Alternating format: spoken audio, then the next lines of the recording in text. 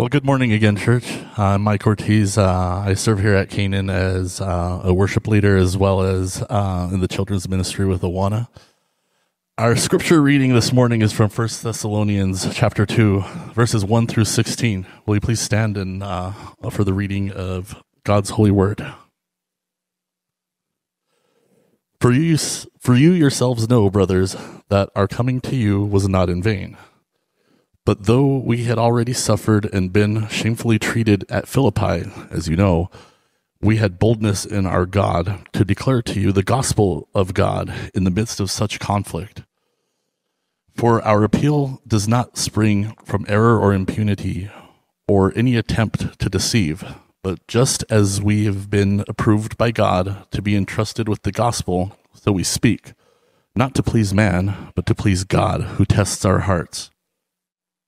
For we never come with words of flattery, as you know, nor with pretext for greed. God is witness. Nor did we speak or did, did we seek glory from people, neither from you or from others, though we could have demand uh, we could have made such demands as apostles of Christ. But we were gentle among you, like a nursing mother taking care of her own children. So, being affectionately desirous of you, we were ready to uh, to share with you not only the gospel of God but also our own selves because you had become very dear to us. For you remember brothers our labor and toil. We worked night and day that we might not be a burden to any of you while we proclaim to you the gospel of God. You are witnesses and God also how holy and righteous and blameless was our conduct towards you believers. For you know how like a father with his children, we exhorted each one of you and encouraged you and, char- and charged you to uh, walk in a manner worthy of God, who calls you into his own kingdom and glory. And we also thank God constantly for this that when you received the word of God, which you heard from us, you accepted it as the word of, uh, you, you did not accept it as word of men, but as what it really is the word of God which is at work in you believers. For you, brothers, became imitators of the churches of God in Christ, Christ Jesus, that we are, uh, or that were in Judea. For you suffered the same things from your own countrymen as they did from the Jews, who killed both the Lord Jesus and the prophets, and drove us out, and displeased God, and opposed all mankind by hindering us from speaking to the Gentiles that they may be saved so, as always, to fill up the measure of their sin. But wrath has come upon them at last. This is the word of the Lord. Yeah. Please be seated. Thank you, Mike. All right. Well, good morning again. Good to see all of you. Uh, thanks for being here today. Uh, thanks for joining us online, those of you that are doing that. Um, so, we're continuing our series uh, on holiness matters most is really the theme of the entire book of First Thessalonians. So we are just systematically going through the book of First Thessalonians and, and seeing what God has for us and for the church. And we began this last Sunday as we looked at chapter one. And, and in chapter one, Paul really kind of lifted up the Thessalonian church as an exemplary church. This is a church that he wanted the other churches to emulate.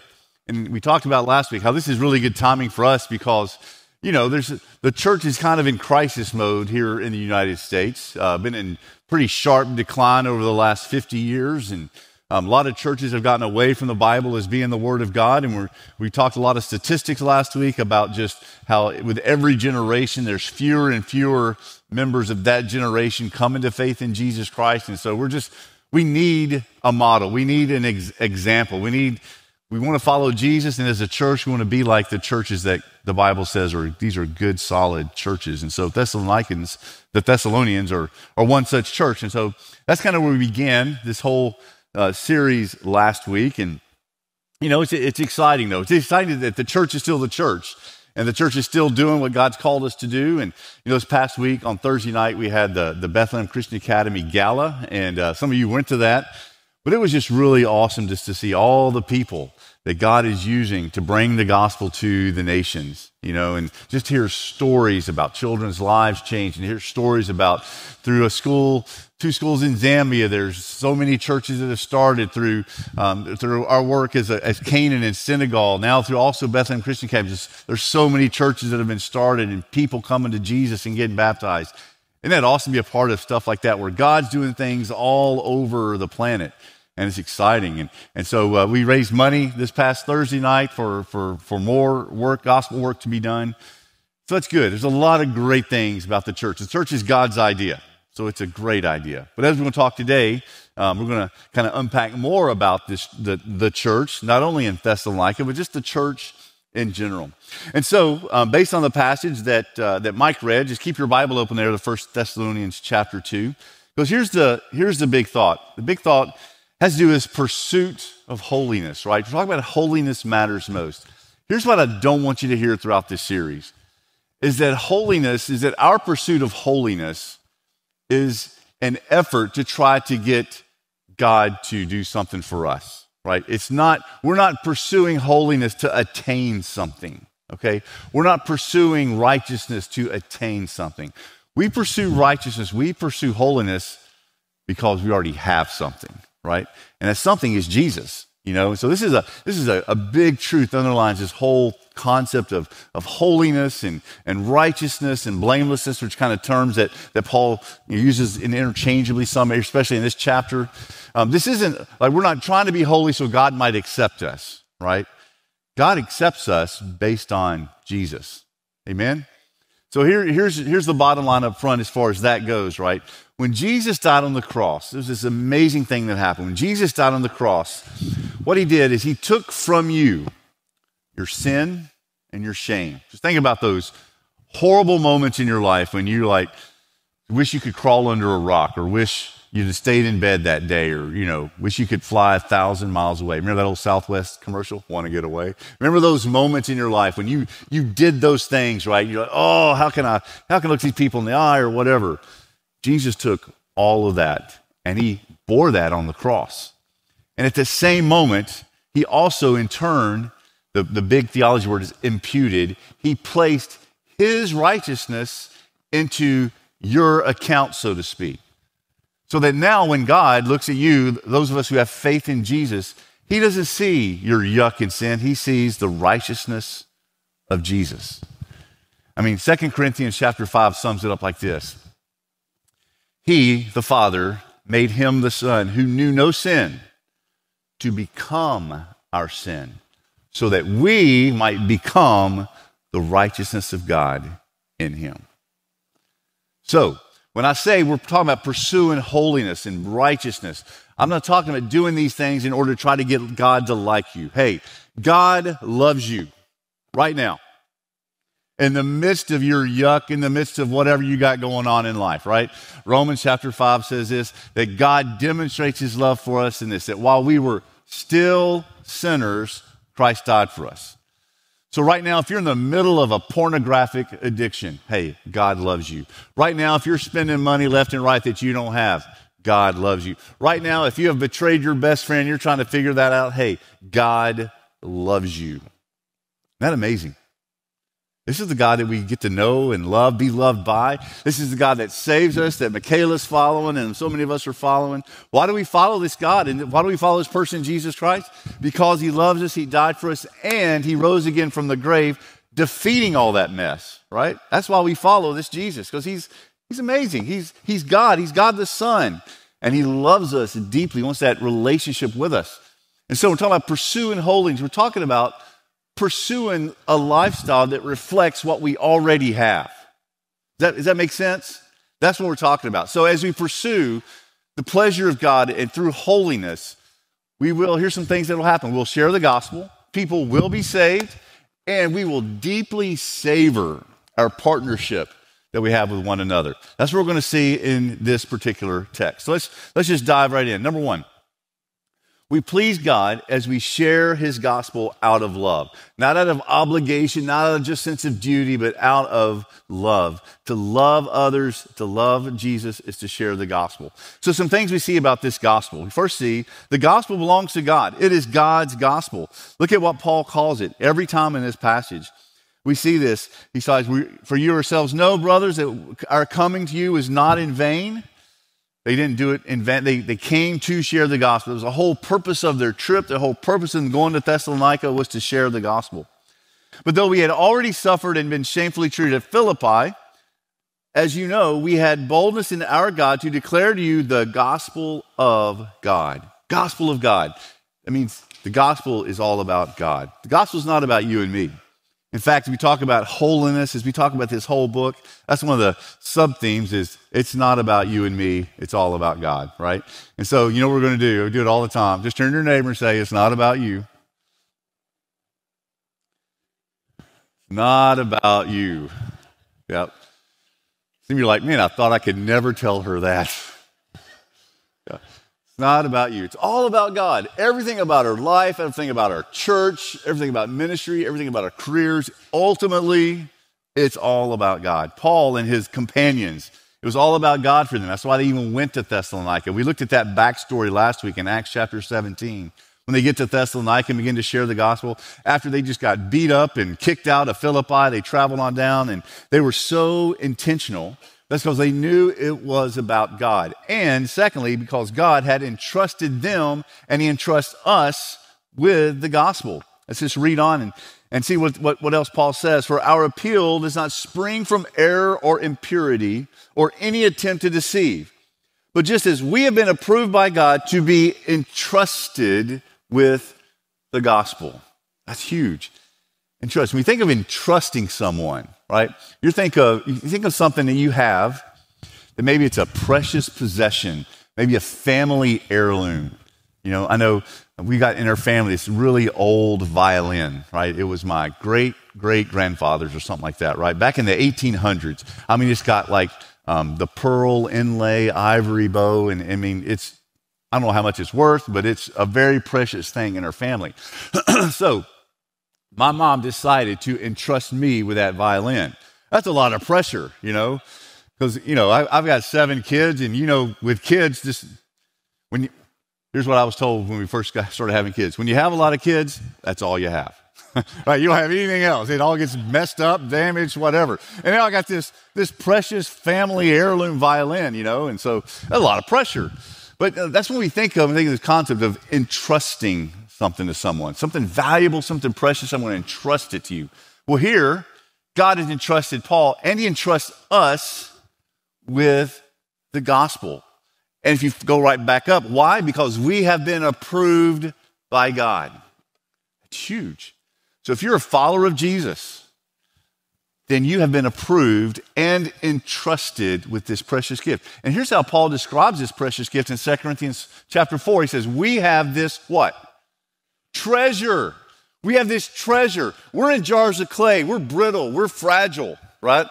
We, but still, God has entrusted, placed this treasure within us to show that it's not about us, right? Not the surpassing power. It, it belongs to God, not to us. Again, it's all about God. So we have this incredible treasure of the gospel entrusted to us. So as a result, what do we do? We declare it. We declare the gospel.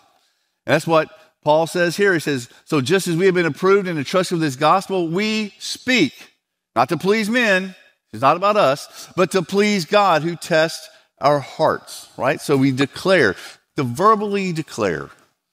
There comes a point in time in your relationships, your friendships, and all of us have people we know, all of us have people we know and love who don't know Jesus yet. This is for all of us, right? The greatest thing you can do is to share the gospel. As, um, there's, there's this show called Penn and Teller. Anybody familiar with Penn and Teller? Yeah, they kind of had like different illusionists come in or whatnot, watch them, and then like, oh, you did that, and you know, it was really up your sleeve and all that fun stuff, right? Well, well, Penn, uh, Penn goes on um, one of his own little personal YouTube things, and he's just kind of a, a monologue, but he, he's talking about an experience that happened to him after one of his shows. Now, Penn's a, is an ardent atheist.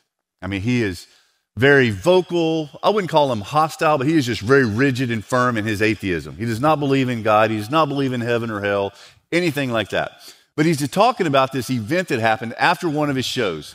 He comes out of his show, and he's, he's a real big guy, you know, and tall. And anyway, he, he, he sees over in the corner while he's signing autographs, this guy's just kind of waiting for him. And so after uh, he's kind of done, the, the guy approaches. And this guy gives him a lot of compliments. And Penn tells it this, he's, he's a really good guy, just really genuine, really honest. He likes his show. He likes how we do things. He likes our honesty. Really appreciates that. You know, you can tell he was really genuine. And then Penn says, and then this guy, he, he, he hands me, he says, I've got a gift for you. Just want you to have it. I know no strings attached. I know you don't believe, but here's just something that I just want to give you. And it was a Gideon's Bible, a little pocket Bible from the Gideons. Y'all know those? It's like New Testament, Psalms, Proverbs, right? And, and you can tell that the Penn's not into the Christian world much because he says, you know, it's, a, it's, it's a Bible, New Testament, it says, with Psalms and Proverbs. And Psalms and Proverbs, they're part of the New Testament, right? No, not. But anyway, he thought they were. So anyway, but he got this Bible, and he's, and he's just really blown away by the, the kindness of this guy that just gave him the Bible. And here's what Penn said. He said, I really appreciated that. Because, you know, I don't believe in heaven hell, but if I did, I would tell as many people as I could, because that's, that's really important, right? If you believe that heaven and hell is real, I mean, and here's what he said How much you have to hate someone to not tell them about heaven and hell and about the gospel. That just really stuck with me. That really, one of the most hateful things we can do to someone is to not tell them about Jesus who loves them, who died for them, to rescue them from this reality of hell so they can ha- live in the reality of heaven forever. Amen? And here's an atheist schooling us on that, right? It's really powerful. So we declare the gospel again out of love, not out of obligation, not out of guilt, but because we experience how good Jesus is. We experience how he changes us. And so we just want to. And that's Paul says in 2 Corinthians 5, let the love of Christ compel us. And so we should be compelled. And so we, you know, again, 2 Corinthians 4, Paul says, we proclaim, what we proclaim is not ourselves, but Jesus Christ as Lord. And then lastly, we don't just declare it, we live it. We live the gospel out.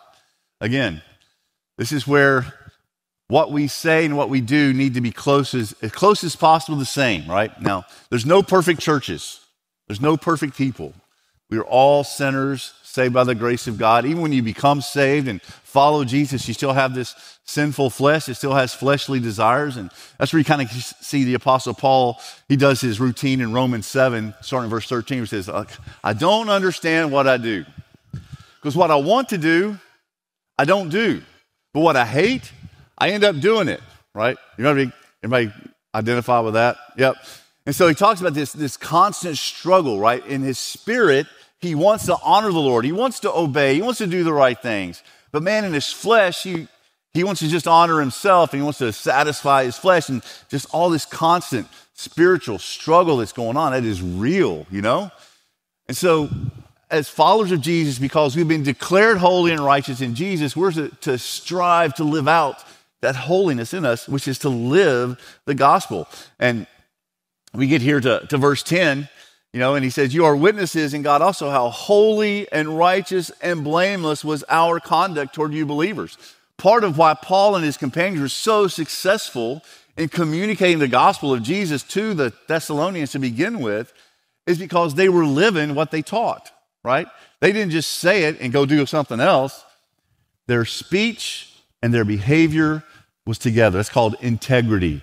The word integrity comes from the, um, word integer. Everybody remember algebra? Ooh. remember integers? Who remembers the word but has no idea what it is? All right, yeah, that's good. Well, an integer is any whole number, whole. The word is whole, right?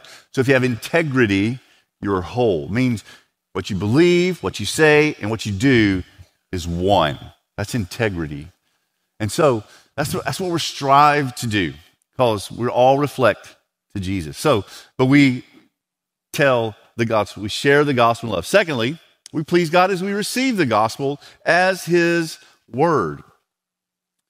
As his word. And so here he's going to really brag on them, right? He, he goes on, he says, We never came with words of flattery, as you know, nor with a pretext for greed. So there's more of their integrity that's coming out. Nor do we seek glory from people, whether from you or from others, though we could have made demands as apostles. We were gentle among you like nursing mothers. So being affectionately desirous, we're going to come back to come back to that. They shared the gospel, right? And so get to here to verse 9. For you remember, brothers, our labor and toil, we work night and day that we might not be a burden to any of you while we proclaim to you the gospel of God. And you are witnesses, and God also. It goes on more about their integrity. But then he's going to talk about how they received the word. Verse, verse um, 13. We also thank God constantly for this that when you received the word of God, which you heard from us, you accepted it, not as the word of men, but as what it really is the word of God. So there was this recognition that as Paul and his companions preached the gospel, they heard this. Now, you know, these, these are not just these guys' ideas. This, there's something to this, right? This is God's word. It's the, it's the recognition, it's the discernment that what we have today, this right here, these are not just what over 40 different authors wrote down over a period of 1500 years. This is all is actually inspired by God. That's what this means, right? If this is God's word, this is God inspired. Like we read in 2 Timothy 3:16. All scripture is breathed out by God, right? You see, like in, in 2 Peter chapter 1, right? How no prophet ever spoke of their own interpretation, but wrote as they were carried along by the Holy Spirit. This is inspiration. This is means we believe that God superintended, the Holy Spirit superintended the entire process of the scriptures coming about, right? Yes, Paul wrote, and he wrote in his own experience, he wrote in his own style, but God was superintending that process. That's what we believe about inspiration. And since this is inspired by God, it means it carries the authority of God. And the authority of Scripture means that we understand and we read Scripture that to disbelieve and disobey any word of Scripture is the same thing as disobeying or disbelieving God Himself, right? That when we read this word, this is God's word, it is from God. So, when these Thessalonians first heard the word, they understood hey, this is from God. I'm submitting myself and trusting, which is what salvation is all about submitting yourself and trusting, confessing Jesus is Lord. That is submitting ourselves and trusting Him, right? Trust, faith, saying those are synonyms. So, this is what the foundation of our faith is the Word as the Word of God. And so, these early Thessalonians, man, they, they knew this. They weren't just, oh, this is good philosophy. Oh, this is just good ideas. No, they went beyond that. This is the Word of God. And folks, there's just so much evidence, so much that we could do a series on this, probably have before, that, that shows that this, the Word of God is authentic, it's historical, it's very accurate, right? We have so much archaeological evidence, historical evidence that substantiates that what you read, what we just read in 1 Thessalonians chapter 2, right? If you went back to the year 130 AD and you read it, it'd be exactly the same. We have that kind of evidence. As opposed to like Roman history. You ever heard of Julius Caesar? Mark Antony, Cleopatra, right? Heard all these figures from Roman history, right? Et tu, Brute. Anybody know what that means? And you, Brutus, right? William, where did William Shakespeare get all that stuff, right? From Roman history. Where do we have Roman history from? Two primary sources. And the evidence for the authenticity and historicity of that Roman history is nowhere close to the history and evidence we have substantiating the Bible. But yet today, even a lot of public libraries, where do you find the Bible? In the fiction section. Why is that? Well, because there's this bias against the supernatural. See, the Gallic Wars, one source of Roman history, or Tacitus, another source of Roman history, they don't talk about Julius Caesar walking on water. You know, they don't talk about um, Augustus Caesar, Caesar healing the blind or raising the dead. They were military leaders, they were kings and emperors, but they didn't do supernatural stuff. There's just this bias against the supernatural, right? And so they say they, they read the Gospels and see Jesus healing people, walking on water, say, oh, that could have never happened because men can't do that. So they throw it in the fiction. And you know, if Jesus was just a man, that's kind of rational. But did Jesus claim to be just a man? No, he's also God the Son. He is God Himself, God in the flesh. Is it irrational to believe that God can heal someone? Is it irrational that God can defy the very natural laws that He created and in place? That's very rational. Absolutely. So, shame on them for putting in fiction because we know this is the true, authoritative, inspired Word of God. And so we receive the Word, right? I mean, Paul says in in Romans chapter 10, verse 17, we must hear the word of God because he says faith comes by hearing and hearing through the word of Christ.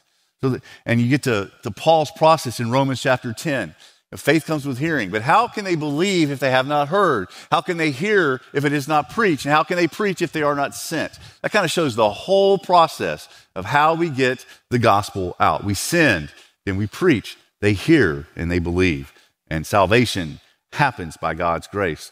Um, there must be that receiving of the word. John writes, uh, we must receive it as the word of God and not of men. John writes this in John 1:12, to all who did receive him, that's being Christ, who believed his name, he gave the right to become children of God. It's not automatic. Just because you're born in a Christian family doesn't mean you're automatically a follower of Jesus, right? There's that moment in time when you receive this as yours, right? And, you know, like this, this is what happened to me. I was, I mean, I was, a, I was a kid, like six or seven years old. I was blessed to be raised in a Christian home. My dad was a deacon, like forever. Um, I think he's in Acts chapter six, is one of the originals. I don't know. But anyway, he was a deacon a long time. And so I heard, heard about Jesus all growing up. I was always at church, all this stuff, right? Then one night, we're having this thing called a revival, right? Where every night, preacher came in for like two weeks. And one night I'm there listening. I actually was listening. It's really weird for a kid that young to be listening, but I was listening, and the preacher said this.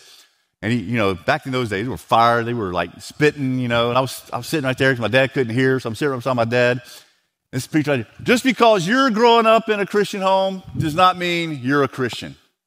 I was like, that's some crazy stuff, right? And so I went home that night and was asking my brother about that. What did he mean by that? I mean, I'm not a Christian. And so my brother shared the gospel with me. But it had to be a moment in time where I received it myself as mine, right? There's got to be that moment in time. That happened in Michaela's life. That's why she got baptized, right? Because when you believe, then your next step is to get baptized. And so there's that, we have to receive the gospel in that moment in time. And, um, and then we see that the gospel does a work in us. The word does a work in us. So he says they received it um, you heard from us, you accepted it not as the word of men, but as what it really is, the word of God, which is at work in you believers. The word of God does its work, works in us, right? I mean, Philippians says this, for it is God who works in you, both to will and to work for his good pleasure. Um, we call that God changes your want to. His desires start becoming your desires. It's just, there's a transformation, there's a change that takes place. And God tells us this, Isaiah 55, my words that goes from my mouth, they will not return to me empty or void, but they will accomplish that which I propose, and, and it will succeed in the thing for which I've sent it. So when you're truly saved, right, when you're truly born again, following Jesus, the Word of God gets in you, the Holy Spirit is in you, and there's going to be work done. You're going to see some change. If you've been saying that you're a Christian for all these years, right, and you look back and you can't see any change, there's never been a change of desires. There's never been a, a, a, growing love for the Lord. And as we're talking about, there's never going to be, there never was a growing love for God's people and God's mission. You know, it's not my call whether that's legitimate or not, but that should raise a flag in your mind. Mate, what's going on here, right? Because the genuine biblical salvation, right, is a process. Yes, you're saved, you're justified, you're born again, but then there's this process that begins. The Word of God does a work in you to change you. Your worldview should change some, right? Romans 12 says, Don't be conformed anymore to the patterns of this world, but be renewed, be transformed rather by the renewing of your mind. That's a process, it's change that happens. And it's got to happen because the word does its work. And so the result here for the church in Thessalonica, and should be for us, is the received word doesn't work in us, and that results in us imitating exemplary churches and also exempl- and imitating Jesus. We looked at imitation last week, but here, if you skip on down kind of the end of our text, um, says here in verse um, 14, for you brothers became imitators of the churches of God in Christ Jesus that are in Judea. That's just what happens. Because the Holy Spirit's growing us to be like Him. And the more we become like the Holy Spirit, and they become more like the Holy Spirit, the more we're going to be like each other, right? Because we're growing in the image of Jesus. Third, we please God, we deeply savor our partnership with one another. Our partnership with one another. so here the word used for partnership is, is sometimes translated fellowship. It's a Greek word koinonia. But the fellowship, I don't know, it's kind of a fellowship can become kind of a watered down term in our American church context. When I think of fellowship, when you think of fellowship, what do you think of? Food. I heard it. Food. That's right, right? Yep. That's the old Baptist law where two or three are gathered together, there shall be some chicken. You know, just the way it goes, right? Um, and, and that's not a bad thing, right? It includes fellowship, it includes hanging out and friendships and all that, but it's more than that. It is partnership. It's us locking arms together for a common purpose, a common mission. So if you look at the way, like those of you that like to read, and maybe you've read The Fellowship of the Ring, the Lord of the Rings trilogy by Tolkien, right? The first one is The Fellowship of the Ring.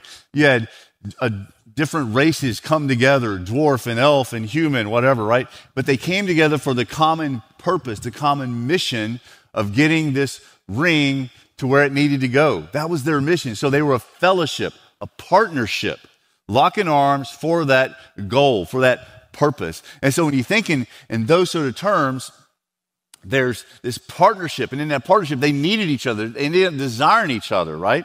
And so we see the first thing here is we grow in our desire to be with each other. Here's what Paul says. This is an interesting phrase. Here, verse 8. So being affectionately desirous of you, right? And how many of us even talk like that anymore, right? The NIV says, being deeply, no, loving you very deeply. It's a, it's a good paraphrase, right? Loving you very deeply. There was a genuine love within this church that Paul's talking about, affectionately desiring. And so, what we see, we see this is built on this fellowship that we have, this partnership with each other. John describes it like this in his letter. So, that which we have seen and heard, we proclaim also to you. That's the gospel the person of Jesus, so that you too may have what? Fellowship, partnership with us. And indeed, our fellowship, partnership is with the Father and with His Son, Jesus Christ. Also, verse 4 says, um, We're writing to you so that your joy may be complete. So notice that our joy, our completion of our joy, is connected to our partnering together and our partnering with Jesus. Without the partnership with Jesus, without the partnership with other believers, you're not going to have that completeness of joy. You might think all I need is all I need is God and my fishing boat. I'm good, right? Or all I need is God and my driver, right? And I'm good. Hey, that's fun, that's good. But no, we need each other. We need each other. That's why God has made us. Our joy depends on it, or the completion of that joy depends on it. And so John goes on to says this if we walk in the light as he is in the light, we have fellowship with one another, and the blood of Jesus, his son, cleanses us from all sin. So there's that joy, that togetherness, that partnership that happens. If you're really in the light, you have that partnership, right? So the church becomes very dear to us. As we seek to honor the Lord through holiness, we savor these partnerships. We love them. We love each other, right? And the church becomes very dear to us. I love how John later says this. This is really clear. We know. This is a statement of certainty, right? We know that we have passed from death to life because why? We have love for the brothers love in the family of God, right? That just happens.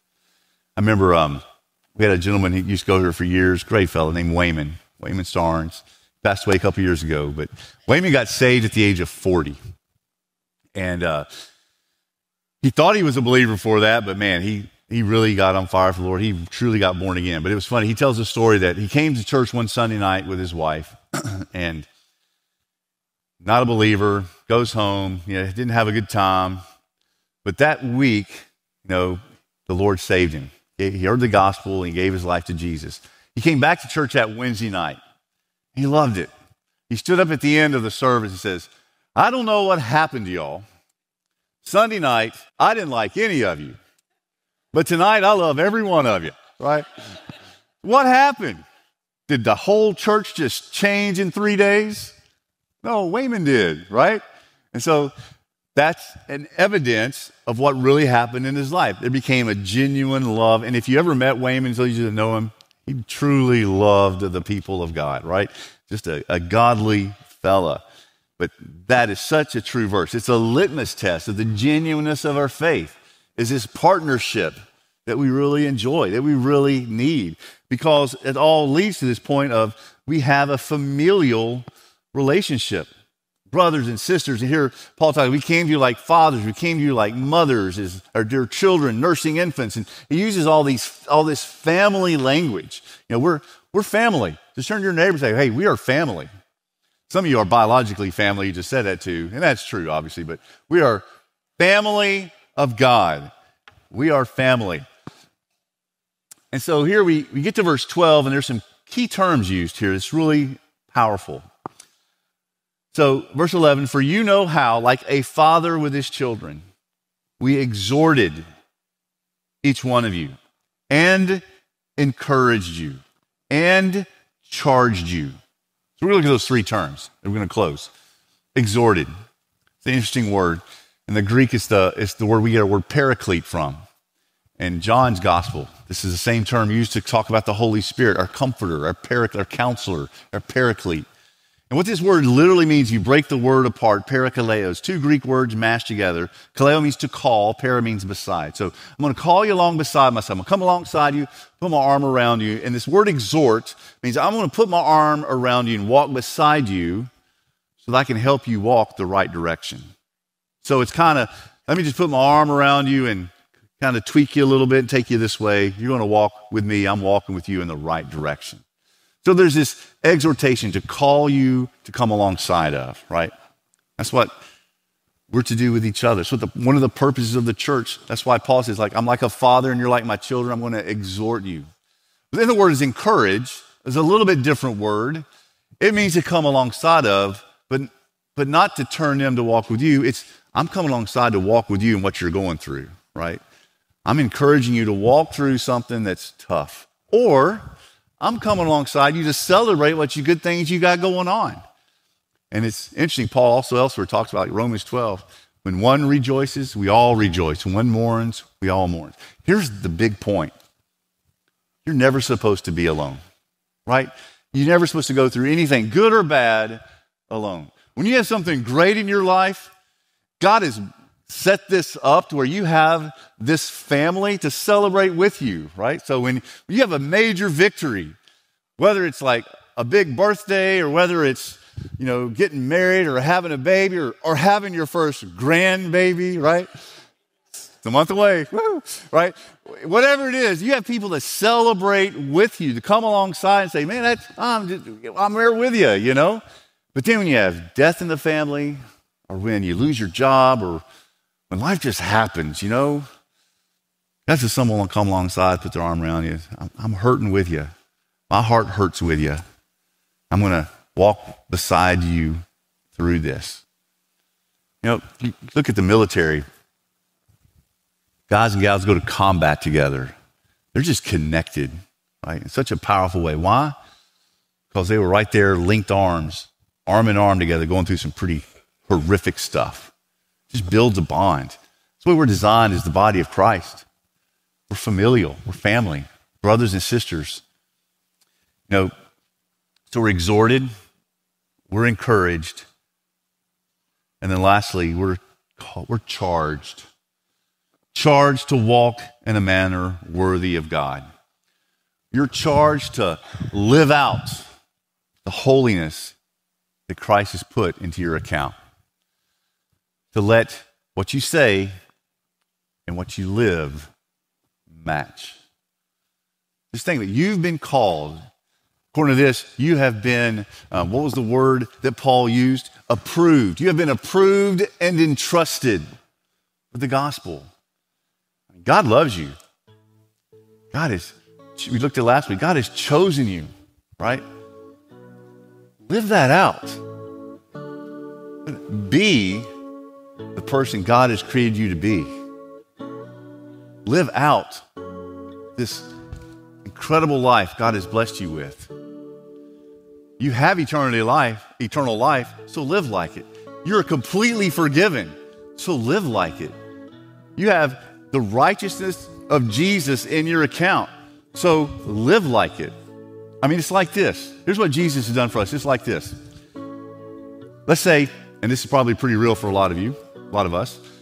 You got mortgage, and let's say it's, oh, let's say you got a really not $300,000 mortgage. Let's say you got student loans, you got a car payment, maybe some credit card debt on the side. That's a lot of debt.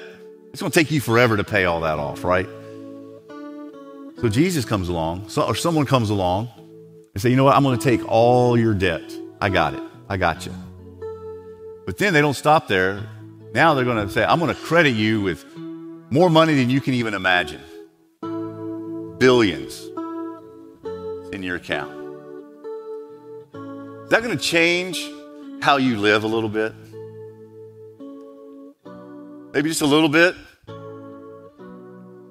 And yet, what we're talking about is not money.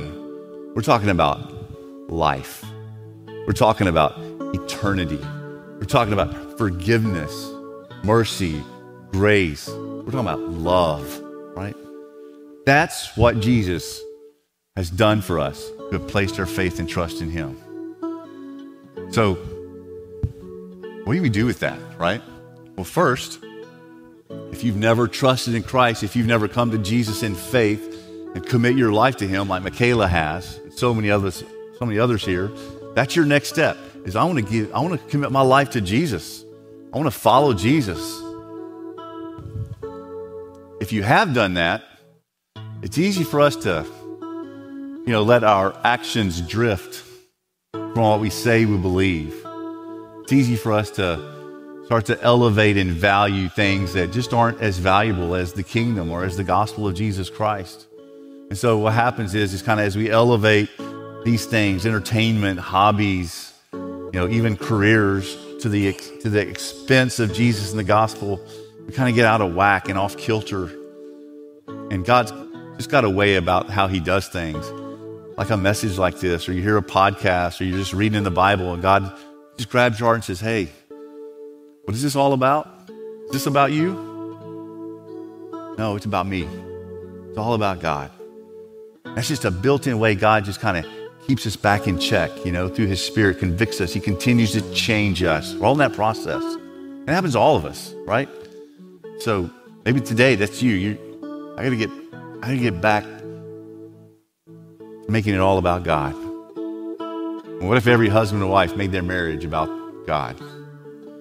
What if every parent made their parenting and their kids about God? What if all of us in our careers made our career all about Jesus? What if we made where we got a house all about Jesus? I mean, that just keeps going. That, that changes how we live, right?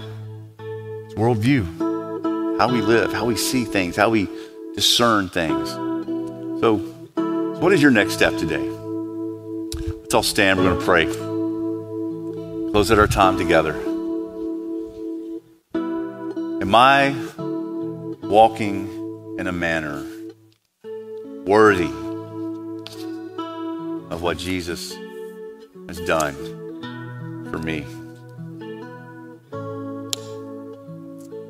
Y'all remember the movie Saving Private Ryan? I don't know if you ever saw it. Hope you saw the TV version.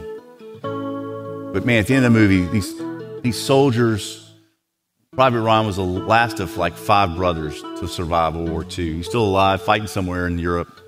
They sent this whole team to find him, and this whole team, except for one or two, got killed in the process. And Private Ryan got, he, they found him, they rescued him, brought him back, and years later he's, he's back at the, the memorial there in France at Normandy. He's looking at the tombstones of all these guys that, that lost their life trying to save him. He's weeping. He turns to his wife and he says, Just tell me I'm worth it.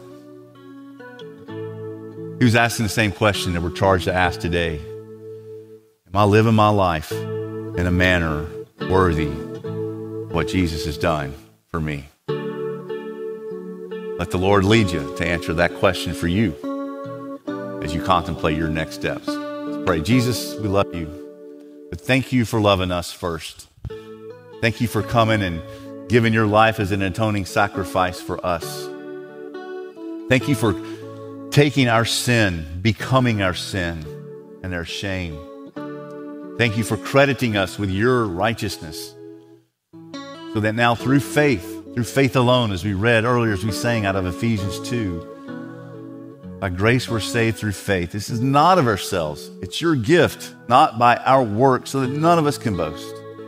We can be saved through faith today. So I pray for anyone here or watching online, if they've never trusted you, that Lord, today is that day. Because there's eternity at stake. Heaven and hell are real and they weigh in the balance. So, Lord, I just pray that your spirit is just talking to all of us about how much you love us, how much you've committed to us, and you want us to be part of your family. Lord, save those who are here who are not saved yet. We got to also pray for those who have just gotten distracted, have gotten in a little off into thinking and forgetting that it's really all about you. So, God, we all just need this reminders, and in your kindness, you extend them just to correct our direction. And God, maybe for some, the next step is to join the church family or commit to getting baptized, uh, like Michaela, just to honor you. So, God, whatever our next step is, I just pray that here this morning you make that clear.